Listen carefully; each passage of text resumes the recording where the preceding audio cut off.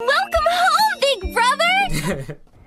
I was hanging with you and then I realized I didn't think it was true